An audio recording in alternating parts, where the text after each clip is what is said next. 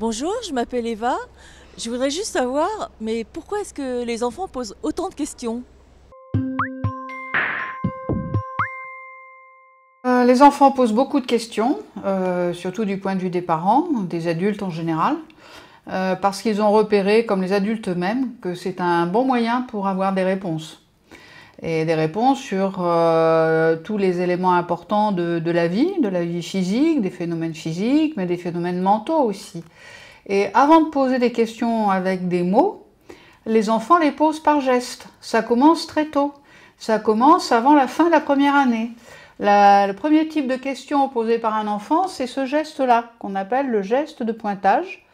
Euh, lorsque l'enfant euh, pointe du doigt vers un objet pour dire c'est quoi ça ou pourquoi il est là, ou pourquoi il est comme ça, ou à quoi ça sert.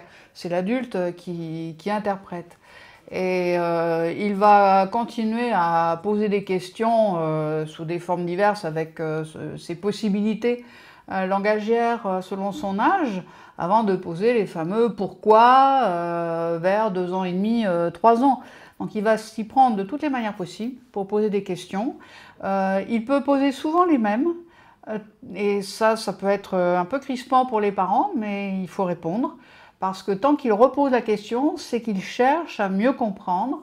Donc on peut exprimer autrement la réponse qu'on a déjà donnée pour l'aider à faire le tour d'une question. Et puis il pose aussi des questions quelquefois euh, pour savoir si l'adulte euh, sait les mêmes choses que lui.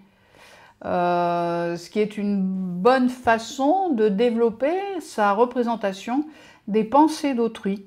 Que autrui désire des choses différentes, pense des choses différentes, sait des choses différentes ou croit des choses différentes. Voilà, donc c'est vraiment important de, de répondre aux questions des enfants, même si quelquefois ça paraît un peu lassant, euh, parce que ça permet d'entretenir euh, leur, euh, leur curiosité, leur soif de savoir, et pourquoi pas qu'ils deviennent eux-mêmes des chercheurs pour trouver les réponses à des questions qui vont continuer à, se poser longtemps, du moins c'est ce qu'il faut souhaiter.